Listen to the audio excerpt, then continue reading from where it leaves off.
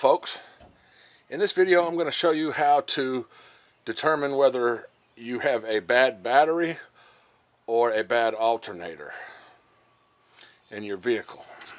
Okay, today's subject, this is a Honda. Um, I don't know what kind of Honda this is. I'll tell you here in just a minute. A Honda Pilot, a four-wheel drive. On this vehicle, it's a 3.5 um, iVTEC motor. And the battery is in the front of the driver right behind the headlight. Now let me go ahead and try to start this car. It, it wouldn't start this morning, so I'm uh, going to find out what's wrong. Okay, folks, this car will not start. Let me uh, go in here and try to key. It's it's dead.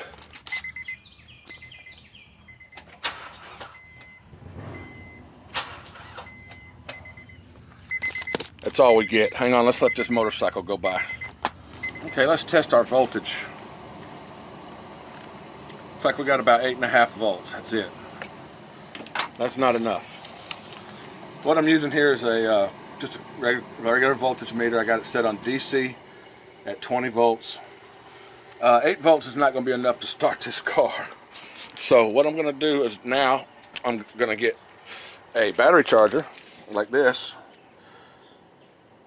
This is made for um, this type of a problem. I'm going to get this battery charger on here and right now I know I got a dead battery but I don't know why. We're going to get this car to start by getting enough charge in it and then we're going to test the alternator um, and I'll show you that here in just a second. Okay, I have this battery charger set on 12 volts and it's putting in 6 amps.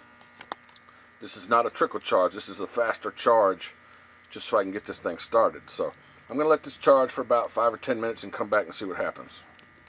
By the way, when hooking up your uh, battery terminals from your charger to your battery, you want to hook up red to red and negative to negative. Black is negative and red is positive. Of course, don't hook that up backwards. Make sure that you pay close attention to uh, how you hook that up. Okay, everybody, what I'm going to do is when I get this car running, I'm going to check the voltage at the battery with the alternator turning and I should be getting a reading of uh, 12 above maybe 13 14 uh, volts. That right there is going to tell me that the alternator is putting out but the battery is bad and it's not holding a charge.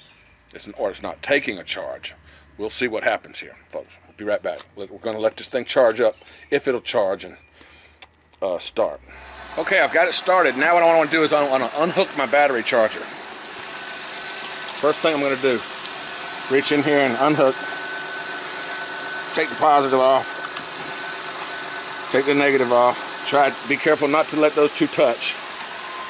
Put those somewhere safe. This is plastic, so it is safe to hook that to that because plastic does not conduct electricity. So that's safe there. You may even want to unplug, go ahead and unplug your battery charger. That's the safest thing to do. Now, with this vehicle running, I'm going to test the voltage again. Go ahead and hook up my positive. Touch my positive in there. It's going to be hard to do with one hand and a camera. And I'll go over here and touch my negative. And I see that I'm getting 14 volts with a nearly dead battery. What that tells me, folks, is my alternator is good. But this battery is weak. For some reason, this battery's been drained down. All right.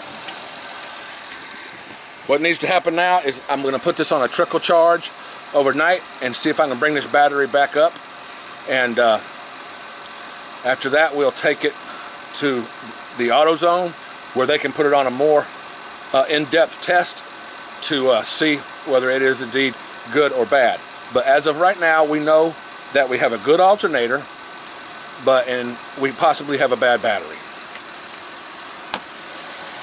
folks, you can pretty much assume that if you use your vehicle every day, uh, or multiple times a day especially, go to work, come home from work, shopping, whatever, and, and you're you're running your car, and this is uh, the symptoms that you're having and the uh, outcome that you get with these tests that I just ran, you can pretty much assume that you have a bad battery. Okay, your battery is not charging, but your alternator is putting out the correct amount of voltage. Your battery just won't take it. So you can prepare yourself to buy a battery and uh, pretty much guarantee you're going to need a battery. If your if your alternator is putting out voltage, but your battery keeps going dead, buy a new battery. Thanks for watching, folks. Rednecks Gone Wild. This is the simplest video there is. It's just, you know, you got to have a battery charger or jumper cables to jump the car off to get it started into beginning to uh, test it with a voltmeter. Also, you must have your voltmeter. Um, if you don't have a battery charger, you can just use jumper cables and another vehicle and get it started so you can uh, run the test. But anyway, thanks for watching, folks. RednecksGoneWild.com.